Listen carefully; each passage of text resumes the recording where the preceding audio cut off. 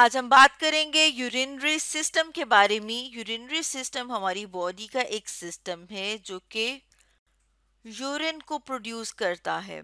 इस सिस्टम का जो मेन ऑर्गन है वो किडनी है। जैसे यहाँ पर हम देख रहे हैं कि हमारी बॉडी में दो किडनी मौजूद होते हैं बीन शेप के।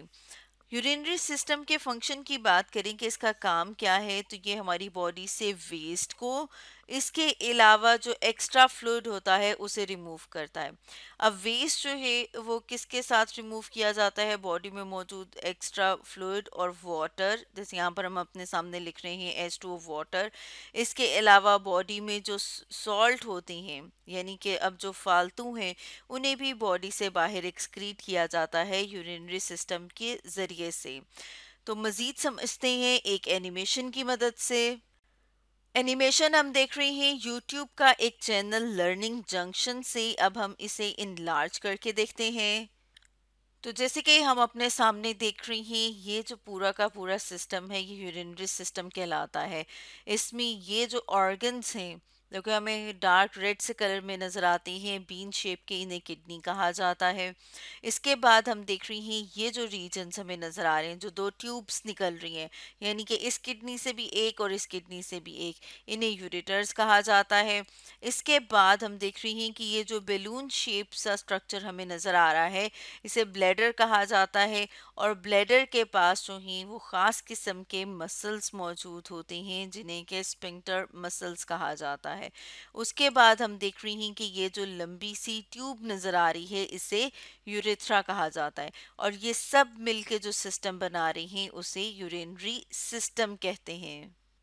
अब हम किडनी के जो डिफरेंट रीजन्स हैं, उनको देखते हैं। जैसे अभी हमने देखा कि ये जो अभी हाईलाइट हुआ था रीजन इसको हम थोड़ा सा यहाँ से बैक प्ले करते हैं। यहाँ पे ये जो हमें हाईलाइटेड रीजन नज़र आ रहा है, इन्हें कहा जाता है कैलेसिस।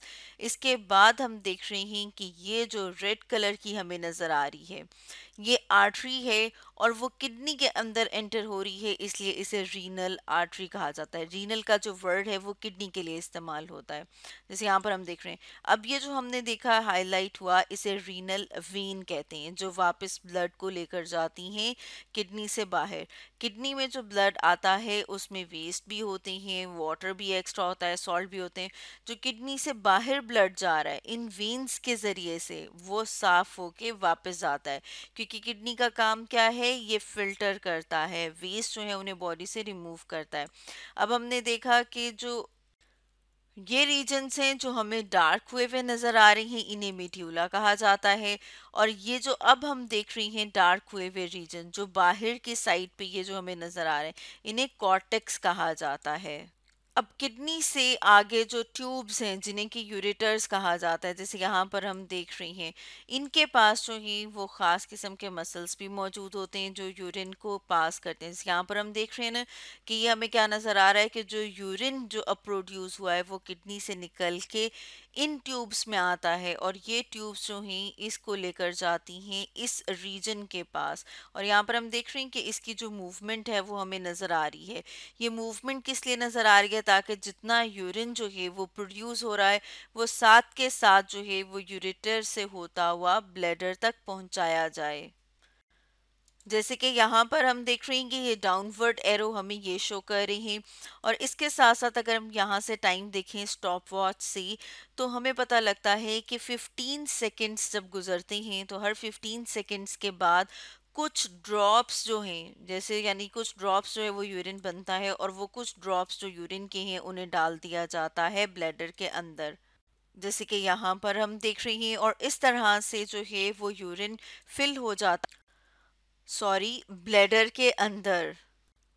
जैसे कि हमने बात की थी कि ब्लैडर के पास जो है, वो ख़ास किस्म के मसल्स होते हैं, जिन्हें कि स्फिंक्टर मसल्स कहा जाता है। जैसे कि यहाँ पर हम देख रहे हैं, और इसके साथ जो है, वो कहाँ, ये कहाँ पर मौजूद हैं? ये ब्लैडर के अंदर मौजूद है, और इसके बाहर जो है, वो प्यूबिक बोन है, जैसे यहाँ पर हम देख रहे हैं। और ये जो स्फिंक्टर मसल्स होते हैं, इनका काम क्या है? इनका आप देख रहे हैं कि जब ये ओपन होंगे, क्योंकि यहाँ पर मौजूद है, इसको हमने इनलार्ज करके देखा है। तो इसके ओपन होने से जो है, वो यहाँ से ब्लैडर से यूरिन जो है, वो मूव कर जाता है। और यानी कि ये क्या करें? ये कंट्रोल करें हैं कि ब्लैडर से यूरिन जो है वो किस तरह से पास होता है? जैसे यहाँ से हम देख रही हैं कि अब उसके बाद जो है वो ओपनिंग मौजूद है, जिसे कि यूरिथ्रा कहा जाता है। और यूरिथ्रा जो है वो यूरिन को ट्रांसमिट करता है। जैसे कि यहाँ पर हम अपने सामने इस डायग्राम में भी देख रहे हैं कि किडनी है और किडनी के पास जो ये वाला रीजन है, अगर इसकी बात करें तो इसे कहा जाता है पेल्विस यहाँ पर हम अपने सामने लिख भी रहे हैं। पेल्विस जो है वो रीजन है जहाँ पर जितनी भी ये, हमने कहा रीनल आर्टरी जो है वो इसके अंदर एंटर हो रही है, ठीक है? और रीनल वेन जो है वो यहाँ से बाहर जा रही है। इसके अलावा ये जो ट्यूब्स हैं यूरेटर्स ये भी यहीं से जो है वो निकल के बाहर को जाती हैं और ये एंटर हो रही हैं ब्लैडर में। ब्लैडर के यहाँ पर जो मसल्स मौजूद होते हैं, इन्हें स्फिंक्टर मसल्स कहा जाता है। उसके बाद जो है, ये एक ट्यूब सी जो है, इसे यूरिथ्रा कहा जाता है और यूरिथ्रा से जो यूरिन है, वो क्या होता है, वो बॉडी से बाहर रिलीज़ कर दिया जाता है।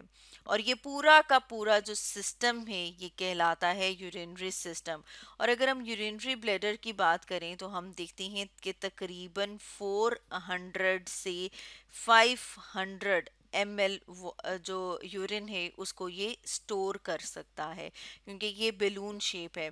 इसमें इलास्टिसिटी होती है, यानी कि ये यहाँ पर जो यूरिन बन के आ रहा है, उसको कुछ टाइम के लिए स्टोर करता है।